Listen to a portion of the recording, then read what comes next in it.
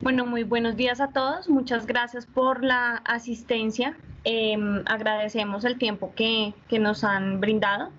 Em, queremos pues contarles que vamos a, grabar la sesión pues para efectos de consulta tanto de los funcionarios y contratistas como de los grupos de interés de la entidad con el fin de tener retroalimentación y resolver dudas y preguntas sobre los temas que vamos a tratar.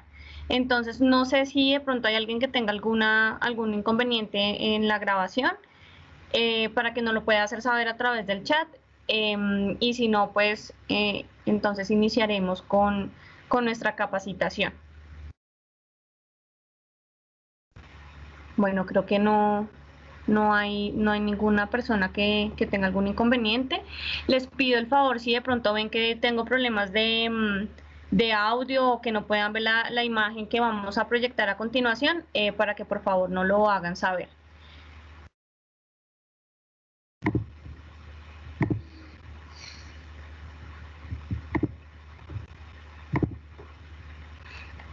Bueno, inicialmente em, la capacitación del día de hoy es para que ustedes eh, puedan entender y saber cuáles son los lineamientos tanto de la política de participación ciudadana en la gestión pública, eh, con un enfoque eh, de rendición de cuentas y cómo se constituye una rendición de cuentas eh, dentro de una entidad pública. en ese orden de ideas, entonces vamos a revisar rápidamente cómo funciona la participación ciudadana en el ciclo de la gestión, tanto en su diagnóstico, formulación, ejecución, evaluación y control, así como cuál es la característica que tiene con, em, digamos, las diferencias entre un espacio de participación ciudadana y un espacio de rendición de cuentas. Eh, para esto eh, vamos a invitar a William Chacón, que es del grupo de fortalecimiento de las relaciones con los grupos de interés de la subdirección administrativa, eh, quien nos expondrá brevemente en qué consiste nuestra política de participación en la gestión pública. Buenos días a todos. Gracias, Cindy. Eh, Buenos días. Gracias. Eh, bueno, inicialmente eh, nosotros desde el grupo de fortalecimiento y obviamente con todo el apoyo del grupo de, de la formación organizacional de la de la Oficina de Planeación, pues lideramos a nivel de la entidad todo lo que es el Plan Anticorrupción de Atención a Ciudadano y del Plan de Participación Ciudadana. Eh, estos espacios de participación ciudadana pues son muy importantes y están descritos dentro de la ley eh, desde la constitución, desde la constitución política del país. Es así como desde, eh, desde esta constitución en el artículo 1, 2, 3 y 130 habla explícitamente de la participación ciudadana como, un, como fundamento y como parte importante de una democracia participativa. Eh, entonces, desde ese punto es importante determinar qué es participación ciudadana. Eh, y entendemos participación ciudadana como esa interlocución activa que hay entre el Estado y los ciudadanos. ¿Y para qué esa interlocución? Pues para construir para hacer una construcción colectiva de políticas, de acciones, de planes, de programas que sean del interés público general y dentro de esos principios fundamentales de un Estado democrático. Entonces la participación ciudadana, tanto la participación como la rendición de cuentas, son mecanismos muy importantes eh, para aplicar los principios de democracia participativa y democratización de la gestión pública. Desde ese punto de vista, eh, encontramos que en la Constitución, en el artículo 2, como fines esenciales del Estado, encontramos facilitar la participación de todas las decisiones que afectan en la vida económica, política, administrativa y cultural de la nación. Eh, a partir de ahí, en el subartículo, en el artículo 130 de la Constitución, nos habla de los diferentes modos de participación directa. Cindy, por favor, me coloca la anterior. Eh, los modos de participación directa y encontramos pues el voto, el plebiscito, el referendo, consulta popular, cabildo abierto, iniciativa legislativa y revocatoria del mandato. Todos esos mecanismos de participación son instancias eh, que nos permiten hacer consultas, controles, eh, decisorios de la incidencia de la vida económica, política, administrativa y cultural de la nación.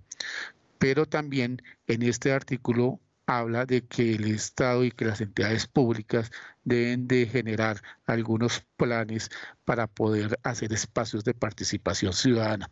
Y esos espacios de participación ciudadana son los que van enfocados directamente a la participación en la gestión pública, es decir, en la gestión que realizan todas las entidades desde el, desde el inicio de su gestión que va desde el diagnóstico, pasando por la planeación, la implementación el seguimiento y la evaluación de todo lo que hace una entidad en torno a aportar a, planes que tienen una incidencia en los grupos de interés, en, en el público en general. Eh, a partir de allí se han generado una cantidad de leyes, específicamente y especialmente la Ley 489 de 1998 y la Ley 1757 de 2015. En esa ley, la 489 del 98, que trata de la democratización de la administración pública, entre otras, eh, tiene las siguientes acciones. Dice, nos dice que debemos las entidades públicas convocar audiencias para dar informe de la gestión que ha realizado la entidad. Incorporar a sus planes de desarrollo y de la gestión pública y programas encaminados a fortalecer la participación ciudadana, es decir, promover espacios que permitan a los grupos de interés y a todos los impactados conocer cuál ha sido la gestión que ha desarrollado la entidad. Difundir todos esos mecanismos de participación en función de los derechos ciudadanos y obviamente algo supremamente importante que son mecanismos que nos aportan y nos ayudan a que esos grupos de interés hagan control social sobre la gestión que realiza una organización. Y hay la ley, la ley 1757 de 2015 que nos habla de la política pública de participación ciudadana específicamente y nos dice que todas las entidades eh, todas las entidades deben orientar y promover la participación de todas las personas en las decisiones que los afecten directamente. Entonces, como pueden ver ustedes, todo lo que es eh, participación ciudadana, el fomentar esos espacios es una obligatoriedad que tenemos todas las entidades públicas. Eh, Cindy, por favor. entonces, ¿en qué espacios o en qué escenarios se da ese relacionamiento del ciudadano con el Estado. Y lo tenemos especialmente en esta diapositiva que ustedes ven allí. Inicialmente, ellos deben de acceder a una información pública y obviamente quién la tiene que suministrar todas las entidades. A partir de allí, solicitar todos los trámites y servicios que ellos consideren necesarios, procedimientos administrativos, etcétera. Hacer control y exigir cuentas sobre lo que la gestión que ha hecho o que ha realizado la entidad pública. Y obviamente participa y colabora en construir acciones que permitan mejorar lo que se ha podido, eh, lo, que se lo que es susceptible de mejorar, digámoslo así.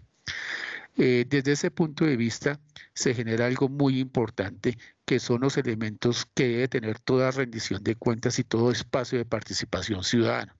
Y en ese espacio de participación ciudadana, entonces se cumple ese ciclo que veíamos, que es información, que es donde públicamente se informan las decisiones a explicar de la gestión pública. Siguiente, el siguiente paso es un, diálogo en el cual eh, los grupos de valor o los grupos de interés en doble vía explicando y justificando la gestión, permitiendo hacer preguntas y cuestionamientos y posteriormente la responsabilidad. Y esa responsabilidad es responder por los resultados de la gestión, defendiendo o asumiendo los mecanismos de corrección o de mejora en sus planes institucionales. Entonces, aquí vemos perfectamente todo el espacio en los que cual los grupos de interés y los grupos de valor se pueden relacionar con, las, con el Estado como tal. Eh, todo ese ciclo que acabamos de ver lo vemos en dónde? En la aplicación de todas las fases del ciclo de la gestión pública, que es la, eh, es la, es la diapositiva que están ustedes observando. Entonces, eh, las fases del ciclo de gestión de la gestión pública tiene cuatro fases muy importantes. La primera es la participación en la identificación de necesidades. Segundo, una formulación participativa. Tercero, una ejecución e implementación participativa. Y cuatro, una evolución, eh, una evolución y control de los ciudadanos. Esa es la fase del ciclo de la gestión pública. Entonces, la participación ciudadana se puede dar en todas las cuatro fases de, esa, de las fases del ciclo de la gestión pública, en donde siempre tiene que haber esos grandes elementos que acabé de mencionar, información, diálogo en doble vía y responsabilidad de la entidad de responder y de establecer acciones de mejora para eh, ¿Para qué? Para asumir una corrección o una mejora. Ese ciclo de gestión nos permite eh, varias cosas. La primera de ellas es fortalecer y promover el uso de mecanismos de participación ciudadana, tal y como lo indica la Carta eh, o la la Carta o la Constitución Política de Colombia. Facilitar el, ejercicio de participación en los espacios e instancias de representación ciudadana en la vida social, económica y cultural del país.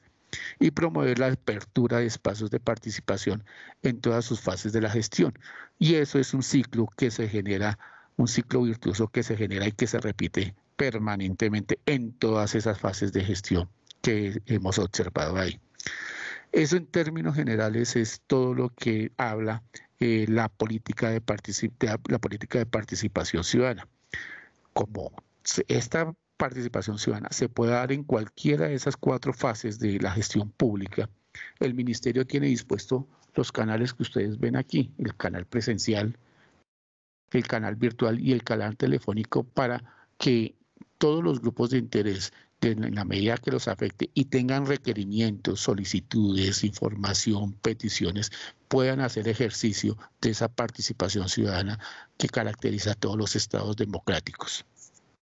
Entonces, todos los grupos de interés pueden acudir de forma presencial a la entidad, de forma telefónica o de forma virtual para, para solicitar información de la gestión realizada por la entidad. Eh, sí, sí, señor. En, ese, en esa slide anterior em, no faltarían las redes sociales del ministerio, o sea, el Facebook, el Instagram, el, todos los que están dispuestos en la página para que la gente participe. a través del, por ejemplo, del, Twitter, la ministra y los viceministros y los directores envían comunicados de información sobre logros o sobre participación o sobre convocatorias, todo eso lo mandan por ahí y por ahí mismo recibe el ministerio, pero no sé quién revise las preguntas o las eh, sugerencias o las cosas eh, que emiten los ciudadanos por ahí, por las redes sociales. ¿Sabes? Eh, sí, eh, ahí la oficina asesora de prensa genera como una consolidación de la información que se realiza a través de redes sociales y la filtra eh, para que las áreas eh, que tengan la información puedan realizar la respuesta y poderlo enviar a través de las mismas redes. Lo que pasa es que, digamos que esas redes de alguna manera se encuentran dentro del sitio web eh, y los enlaces que estamos en este momento mostrando, allí también, digamos, hacen referencia a cada uno de los canales a través de los cuales las personas pueden generar la participación. Lo que pasa es que estos que están viendo son los eh, oficiales en términos de presencialidad, eh, virtualidad y, los telefónicos. Ya digamos que en esta época y pues sobre todo ahorita en la coyuntura que estamos, las redes sociales se han convertido efectivamente en un canal en donde las personas pueden eh, realizar comentarios y, y, y, estos pues efectivamente igual la entidad eh, los está respondiendo. Adicional a lo que dice Cindy, efectivamente, nosotros siempre hemos considerado y la entidad ha tomado como canales oficiales para la recepción de todo tipo de solicitudes estos tres, estos tres, eh, estos tres mm, canales, presencial, virtual y telefónico. Efectivamente tenemos eh, cuentas en Twitter, en Instagram, en, Flickr, etcétera, pero estos son especialmente canales informativos, es decir, por los cuales eh, la administración o efectivamente la ministra da información sobre sus logros, pero en el momento en que algún ciudadano tenga algún requerimiento específico, eh, sigue todos los, eh, todo como los canales oficiales por los cuales ellos pueden colocar sus inquietudes o requerimientos. ¿De acuerdo?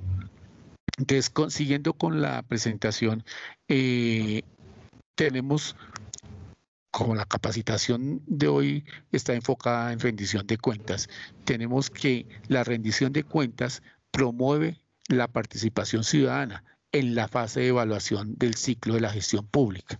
Y su objetivo fundamental es garantizar acciones de información, de diálogo y responsabilidad que para un adecuado ejercicio de evaluación de la gestión por parte de la ciudadanía.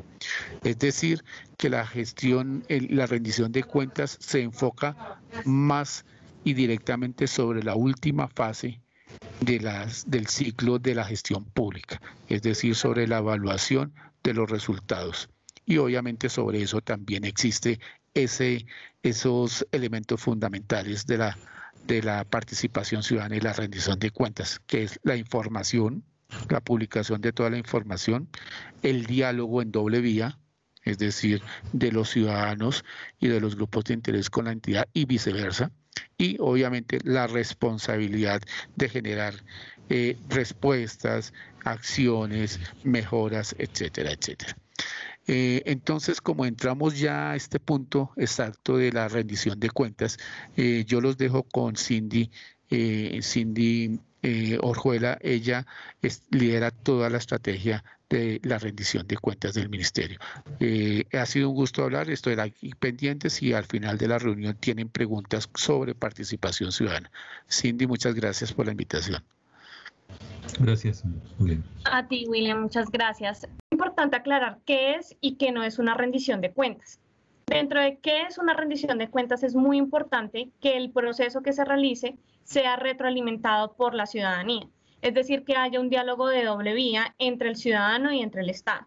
No es solamente realizar una audiencia pública una vez al año y ya digamos que solamente donde asisten los servidores públicos y no haya ningún tipo de de retroalimentación o diálogo de doble vía. Es muy importante que la información que se presente sea una información en lenguaje claro, que sea eh, comprensible y adicional, digamos que efectivamente se estén dando cumplimiento a disponer de la información em, sobre cada uno de los temas eh, o contenidos mínimos que requiere, eh, digamos que por ley se debe dar, que son todos estos temas Em, de la gestión pública, de cómo se está contribuyendo a la realización de las metas. Em, digamos que la información que nosotros estemos disponiendo la tenemos que entregar con tiempo al ciudadano. No es solamente entregar un informe con un lenguaje muy técnico que las personas no entiendan, sino siempre es facilitando y brindando información clara y veraz sobre la gestión institucional. Em, es importante también que dentro de la rendición de cuentas eh, se haga un, tipo de compromisos con la ciudadanía cuando sea necesario. Es decir, tener en cuenta lo que la ciudadanía nos está eh, solicitando eh, y si es viable, digamos, tanto económicamente como en, todo el tema administrativo, que, que, se generen ese tipo de compromisos para poder brindar un mejor servicio, una mejor oportunidad de accesibilidad para que el ciudadano pueda em, acceder a los, a los servicios o, beneficios de, la entidad. Entonces, eh, lo más importante es que una rendición de cuentas debe ser siempre permanente, no es solamente una vez al año y eso es muy importante. La entidad debe rendir cuentas de todos los eh, programas, proyectos e iniciativas que se estén dando. Eh, y por esto también digamos que a través del, del, plan de participación ciudadana se viene materializando. La obligatoriedad de la rendición de cuentas está en todo el marco normativo y les decimos, pero digamos que el artículo 50 hace una claridad sobre, digamos que son tres componentes muy generales a los cuales nosotros debemos rendir eh, cuentas al ciudadano, que es sobre la gestión que se realiza en un, digamos, nosotros estamos haciéndolo eh, generalmente la rendición de cuentas se toma una vigencia, la, eh, la última vigencia, en donde se muestran los resultados de los planes de acción eh, y el avance en garantía de derechos. Hoy en día eh, se habla mucho de una rendición de cuentas con enfoque de derechos humanos y con enfoque del cumplimiento de objetivos de desarrollo sostenible.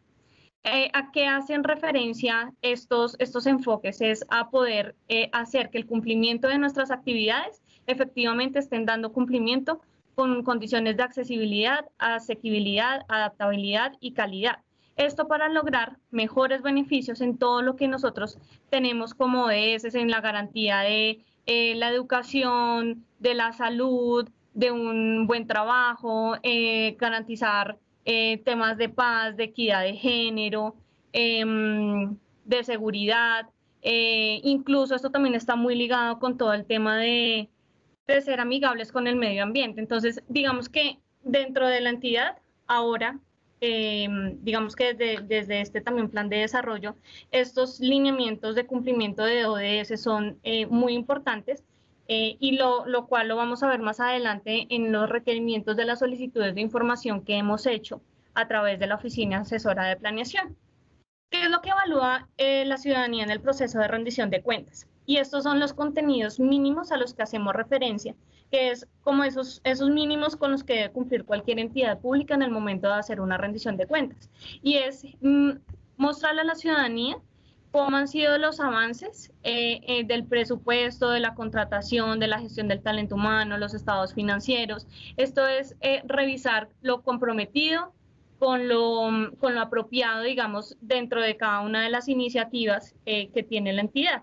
Entonces, esto hace referencia efectivamente a un resultado en la gestión institucional y al cumplimiento de las metas a las cuales nosotros nos comprometimos con la ciudadanía anualmente a través de nuestro plan de acción.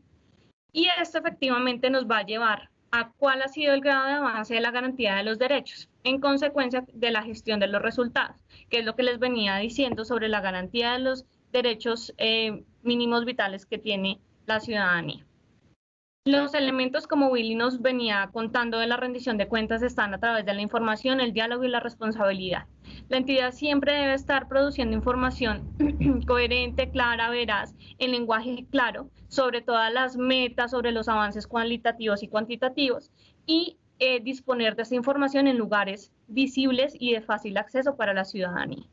El diálogo lo que les decía que es un elemento eh, muy importante que es toda la retroalimentación eh, con la ciudadanía, en donde se generen documentos, se genere información, eh, en donde se tengan en cuenta los comentarios y las solicitudes de la ciudadanía. Y la responsabilidad es todo el tema de los compromisos, a lo que la entidad se compromete para generar un mejor servicio o una garantía de los derechos mínimos vitales a los cuales la entidad le está apuntando. ¿Cuáles son las etapas de la rendición de cuentas y es lo que ustedes en este momento se han dado cuenta que es un poco lo que estamos pidiendo? Eh, nosotros en este momento estamos realizando esta capacitación a la conformación del equipo líder y también esta, eh, eh, esta capacitación la vamos a publicar para que los grupos de interés puedan saber cómo está el ministerio desarrollando la estrategia de rendición de cuentas y pues que posteriormente nos puedan realizar comentarios o preguntas otra vez de un correo electrónico que más adelante lo vamos a, dar a conocer. Eh, ¿Cuál es el estado actual de la rendición de cuentas? Se realizó em, un autodiagnóstico sobre este tema. Estamos eh, sobre el 97% de cumplimiento, eh, a lo cual digamos que esas acciones de mejora que, que nos hacen falta por, por hacer, digamos, lo estamos cumpliendo cabalmente a través de, de esta metodología que estamos armando. Eh, a través de ustedes, de las áreas, hicimos una caracterización de los grupos de valor. Em, el análisis de entorno se hace generalmente cuando se va a hacer eh, audiencias públicas o, mm, espacios de rendición de cuentas eh, de forma presencial para mirar cuáles pueden ser esas dificultades en la realización de estas actividades, pero pues digamos que en este momento aplicado solamente a la virtualidad, el análisis de, entorno pues es, es, es, un poco más light, teniendo en cuenta que pues los inconvenientes que se pueden tener son más de conectividad que de otra cosa. Em, ya digamos que luego del aprestamiento sigue el diseño, que es la elaboración de la estrategia de rendición de cuentas, la estrategia de comunicaciones que se, en este momento se está desarrollando y se va a poner a disposición de la ciudadanía para que ellos puedan revisarla, mirarla eh, y que nos comenten para saber si ellos necesitan otro tipo de información eh, que no les estamos brindando. Em, y pues la sensibilización y la difusión de la estrategia, que pues básicamente es poner la consideración de la ciudadanía. Ya la preparación es la capacitación de los grupos de valor, la identificación de la información que se va a presentar.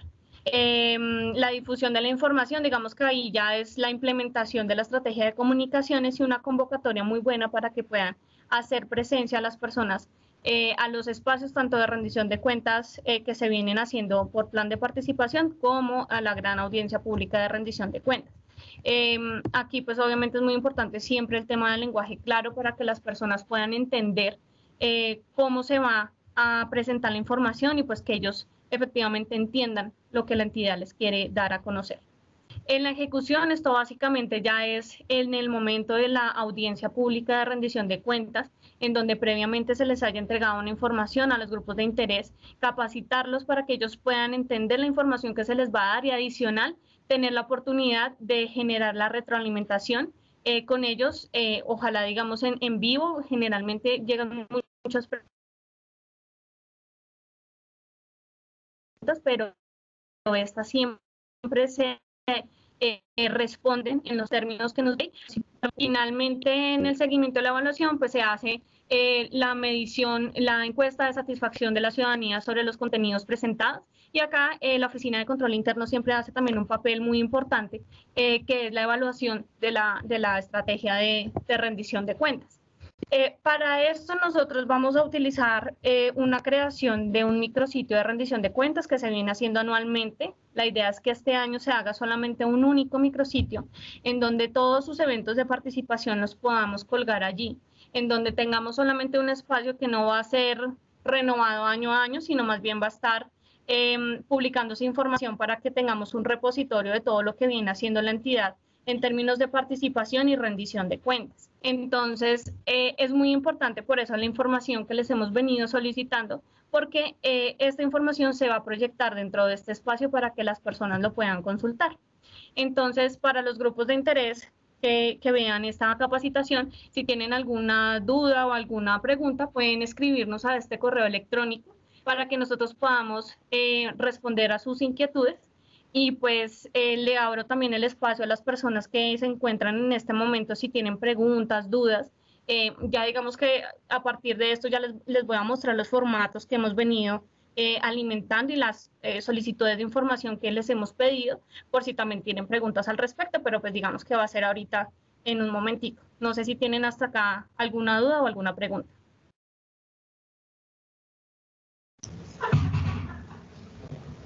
No, perdón, no. Rafael Ortega levantó la mano. Sí, sí, señor. Yo insisto en el tema de las redes sociales porque para el tema de rendición de cuentas, William dice que no es oficial eh, las redes sociales del ministerio, pero si están publicadas en la página web, pues sí tendrían un tinte de ser oficiales.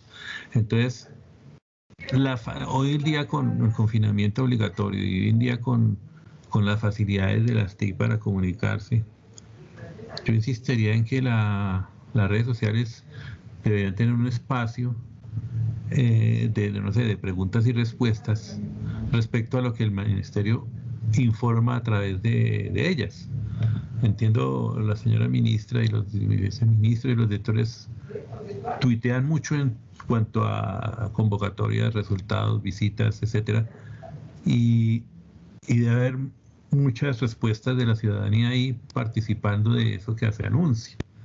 Entonces no sé cómo formalizar o darle un tinte más oficial a las redes sociales hoy en día. Si bien no sé si es por ley que no se puedan incluir o qué, pero es la forma más fácil en que la ciudadanía ha participado o puede participar. Bueno. Sí, sí, efectivamente. Em, digamos que para la rendición de cuentas, dentro de la estrategia de comunicaciones, nosotros tenemos un componente bien importante en donde nosotros vamos a generar información a través de redes sociales y recibir información también a través de redes sociales. De hecho, ahorita estamos preparando em, una serie de encuestas en donde estamos em, revisando, digamos, cuáles son esos temas más importantes de los cuales eh, la ciudadanía quiere saber. Y una de, de, las formas en las que vamos a realizarlo es a través de, la de, las redes sociales, en donde vamos a estar lanzando preguntas para que la ciudadanía nos vaya contestando y nosotros tener como una información mucho más amplia en, en, cuanto a las necesidades de información de los grupos de interés. Si bien eh, lo, que, lo que nos estás diciendo es, es, muy cierto, ahorita digamos el tema de las redes eh, es muy importante, digamos que ya es un canal de comunicación entre la ciudadanía y las entidades. Eh, lo, que, lo que quería hacerles notar es, el, el, digamos que los canales oficiales para la recepción de una PQRS, nosotros tenemos un formulario en donde sabemos específicamente qué es lo que necesita eh, ciudadano en cuanto a trámites también, digamos, eh, pues Rafael, tú sabes también que eso se hace a través generalmente de estos canales eh, que tiene dispuestos la entidad para recibir este tipo de preguntas. Sin embargo, no, no estamos diciendo que no se esté recibiendo a través de redes sociales porque efectivamente sí se está eh, generando un componente de mm, información bastante importante a través de estas. Entonces, eh, efectivamente, sí está contemplado y, dentro de la estrategia de comunicaciones que más adelante les vamos a dar a conocer, lo van a anotar para que vean cómo se va a manejar esta estrategia eh, en cuanto a la publicación de información y retro